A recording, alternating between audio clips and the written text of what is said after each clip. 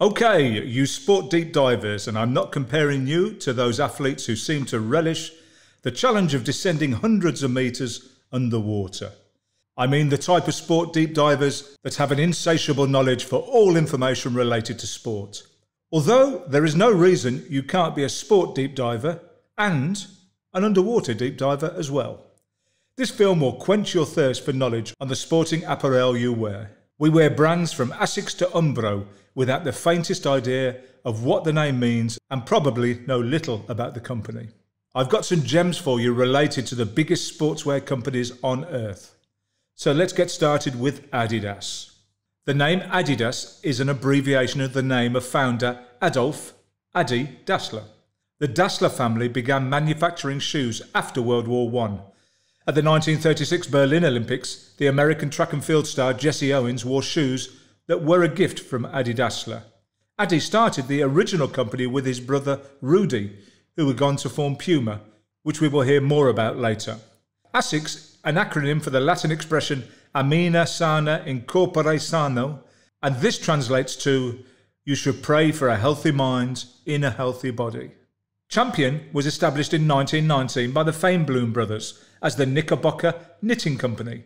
The company soon after signed an agreement with the Michigan Wolverines to produce uniforms for their teams. In the 1930s, the company was renamed Champion Knitting Mills Incorporated. In 1948, Marcello Danieli founded Diadora. The name was suggested to him by a friend. The word comes from the name given by the Greeks of Byzantium to the Dalmatian town of Zadar originally called De Ladera or from Zadar. It was mistakenly copied and translated from Dalmatian to Latin, becoming, along the way, Diadora. Ellesse was founded by Leonardo Servadio on the 19th of June 1959 in Perugia, Italy. The name Ellesse derives from Servadio's initials, LS, LS Ellesse. The name and shape of the Errea logo originated by combining the letters R and A, which are the initials of Roberto and Annalisa, the children of the chairman and owner of Errea Sport, Angelo Gandolfi. Fila is quite straightforward in that Ettore and Giansevero Fila started their company in 1911 in Biella, Piedmont, in Italy. Hummel, the German word for bumblebee, was chosen as a reference to the way the bulky insect with its short legs and small wings, defies gravity to fly. Wearing the Messmer brothers' pioneering football boots, players too were able to defy convention, and so the name stuck. Kappa is the tenth letter of the Greek alphabet. Kappa originally started as a sock company. The Kappa logo is actually a man and a woman, although a lot of people think it's two women. It stands for equality across both genders. Lacoste was founded in 1933. René Lacoste, one of the company's founders, was nicknamed the Crocodile by fans because of his tenacity on the tennis court. Le Coq Sportif was founded in 1882 by Emile Camuset in France. The company first issued items branded with the now famous Rooster trademark in 1948. The company's name and trademark was derived from the Gallic rooster, which is the national symbol of France. Li Ning is the Chinese leader in athletic apparel and footwear. Li Ning founded the company in 1990 with the simple goal of providing Chinese athletes with a national brand to wear on the world stage of the Olympics, which was historically one of the West's rare portals into authentic Chinese culture. In 1984, Li won three gold medals, two silver, and one bronze to become the most honoured athlete at the Summer Olympic Games hosted by Los Angeles. I researched this a couple of times to be sure, but Lululemon founder Chip Wilson reportedly said he chose the name because it was funny to watch Japanese people try to say it. It's as if the history of Macron has been deliberately deleted. I looked quite hard for the reason behind the name and the logo, but came up with little more than Macron was founded in 1971 as a distributor of American sportswear brands in Italy who eventually started producing their own sportswear and sponsoring sports teams soon after. Mizuno was founded in 1906 by the Mizuno brothers. It is believed that William J. Riley came up with the name New Balance in 1906 by observing chickens in his yard. He would demonstrate the way his arch supports worked by keeping a chicken foot on his office desk. He explained to customers that the chicken's three pronged foot resulted in perfect balance. Nike was founded on January the 25th, 1964 as Blue Ribbon Sports by Bill Bowerman and Phil Knight and officially became Nike Incorporated on May the 30th, 1971. The company takes its name from Nike, the Greek goddess of victory. Oakley was started by James Jannard in 1975 in his garage with an initial investment of just $300. The name Oakley came from the name of Jim's dog, an English setter named Oakley Ann. When Rudolf Dassler founded his own shoe manufacturing company in 1948, after the split with his brother Adi, he first named it Ruda, a combination of the first two letters of his first and last name. He didn't like the name and instead picked the name Puma. The original logo had the cat jumping through the capital letter D, but the logo later evolved into the Puma we know today.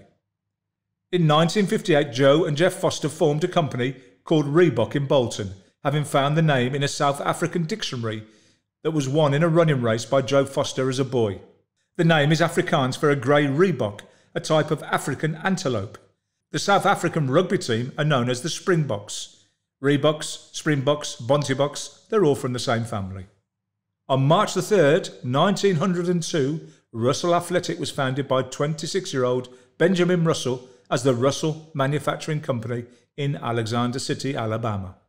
The Salomon Group is a French sports equipment manufacturing company based in Annecy.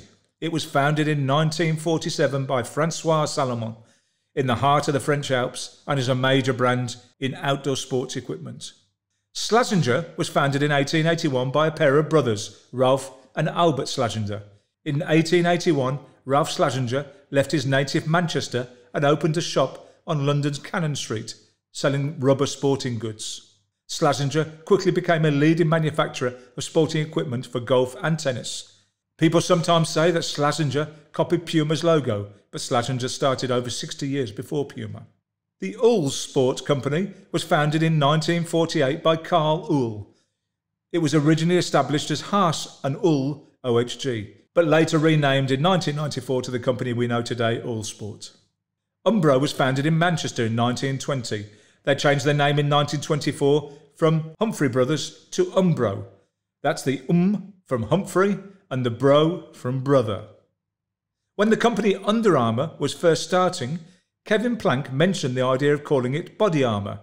His brother Bill misheard him and thought he said Under Armour. The name stuck, of course, with the British spelling being used in order to get the phone number Plank wanted. Wilson's history starts in 1913 when the Ashland Manufacturing Company used animal byproducts from its slaughterhouses to make tennis racket strings and violin strings, but soon expanded into baseball shoes and tennis rackets. In 1915, Thomas E. Wilson was appointed president by the controlling banks and the company was renamed the Thomas E. Wilson Company. In 1946, just after the end of World War II, Yonex marked its beginnings as Yoneyama Company Limited, founded by Minoru Yoneyama, as the producer of wooden floats for fishing nets. The once thriving business failed because of lack of R&D. Being frustrated by being pushed aside by advancing technology, he vowed never to be technologically left behind and committed to constant innovation in future endeavours. In 1957, he started to make badminton rackets. Thanks for watching. I hope you've enjoyed it and found it as interesting as I have done in the researching and making of it. I have many other similar films for you on my channel, all related somehow to sport. So head across there and check them out. As ever, I would really appreciate the thumbs up and the subscription if you haven't already subscribed. And please spread the word to anyone you know about my films.